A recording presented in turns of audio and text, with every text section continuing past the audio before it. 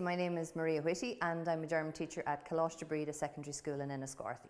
I teach three of the five first year classes and the focus of this particular unit of learning is to develop their writing skills. And rather than just doing what we would traditionally have done, just get them to write and write and write, um, I decided that to reinforce the core vocabulary, we would come up with something a little bit more dynamic. I had um, an Austrian foreign language assistant and she introduced me to the idea of Stationenarbeit, which is basically boxes or pouches and they have different tasks in them. A couple of months ago I got a request from a German student who needed to do a three month internship. She wanted to come here, so I said, yes, absolutely, would love to have you. And we discussed the particular um, needs of the first years with the, the new junior cert in mind. Um, and I said, well, you know, I really like the Stationenarbeit idea, but I think probably if we can keep them at the table doing different tasks, it might work out better. Okay, in der Spielbox gibt es unterschiedliche Übungen. Und wir wollen unsere Haustiere-Vokabeln üben. Haustiere, ja? Okay, also jetzt machen, macht dann bitte die Box auf. Es gibt elf, elf Spiele. We thought about the different exercises that we could use to enhance their writing skills, which is the focus of the unit of learning. And we decided that um, as part of that unit of learning, um, reinforcing the core vocabulary would be really important and we could come up with an awful lot of really fun exercises for that. So, in dem Umschlag gibt es die Anweisungen. Ja? Das erklärt alles auf Deutsch und auf Englisch, was ihr machen sollt. So was müsst ihr machen? Hier gibt es Scrabble-Steine. There are so many exercises out there and it took us a while to whittle them down. Um, but we came up with 11 that would be really, really workable and we got boxes to put them in. It, the exercises did involve uh, some investment in terms of, you know, the little Scrabble pieces and the whiteboards and the markers and um, the little erasers, you know, things like that. But uh, they will be able to be used for other exercises in the future. So dein Haustier oder ein ausgedachtes Haustier, so zum Beispiel mein Fantasietier, ja?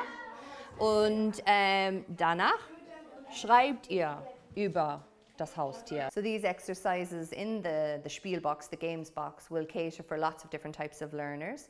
So there'll be those who are into spatial, um, they've got their skills are spatially oriented, linguistic, mathematical, um, you have intrapersonal, interpersonal, and you also have the, the kinesthetic learners. And each one of those exercises will tick those boxes at some stage or another. One of the huge benefits of those boxes is that it's very differentiated, so everyone can choose whatever they think works best for them. So if they're a little bit more active, they can act out animals, they can have role plays, or um, some others that are maybe a little bit more quiet, they can do more individual work, so that's really, really good. Simply for the boxes, we decided it would be simple, simpler, easier for the, the students to identify themselves as, a, as a, a little group if they had one box per four. So we just rearranged the tables, it only took five minutes.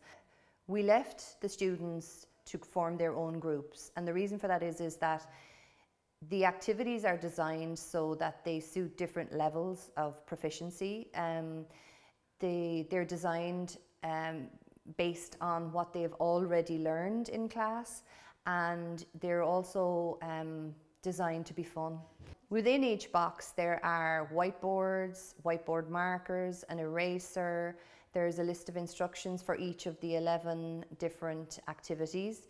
Um, we colour printed them and we laminated them and cut them out and it did take a while but they will be used by other the other two first year classes and they will be used for posterity. Each um, there are 11 envelopes and within each envelope you have a list of instructions and you have the cards or whatever you need to play the game um, or do the exercise. So there's a pouch um, in the classroom where all the solutions are in, in the pouch and they have to get up and they have to go. So it involves student reflection as well. They can see where they went wrong, where they maybe need to watch out, you know, what their strengths are and maybe what they need to work on and what they need to improve on.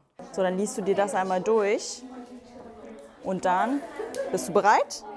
Sehr gut. It's fun, it's easy for the teacher because all you're doing is encouraging and monitoring and prompting and you know helping out if there are some misunderstandings with the uh, instructions but for the, the kids there is a lot involved. You know they have to manage their time their thinking their predicting their adding their reading their listening their speaking. So one class may be enough. It depends on the group that you have but certainly there's enough material there for two I can definitely see them being more confident while using the language, especially with all the acting out and describing. And I can also see that they remember their vocabulary a lot more, so that's really good. We were opening boxes that had loads of activities where we were like learning German and they were like games and things and they were really fun. They were all different to each other and you had a good variety. I like the headbands because we got to act out the animals and it was fun as well, so that was really nice. My favourite activities would be uh, ones involving the phones. My favourite phone activity was the charades. I think the fantasy pets were my favourite because I really like drawing and coming up with a pet is fun. I really like having the option of what I want to do and who I get to work with. It's much easier to learn as a group. Like they're kind of reminding me of like all the vocabulary and things and it kind of just sinks in after a while. It's easy to remember things after doing them. Like it's good for like pronunciation and stuff as well. And my vocabulary has gotten better as well. I really think it's helping me with my German. I would advise um, teachers to plan it for sure. It's an, it's an absolutely brilliant activity. Um, the, the, the students become learning resources for each other. They self-assess, they peer assess. I mean, it ticks so many different boxes. For the teacher, once the planning and the boxes have been put together, your work is almost over. You're walking around the classroom, you're seeing them in action, and it's very rewarding uh, to see them understanding what to do, getting, you know, enjoying what they're doing.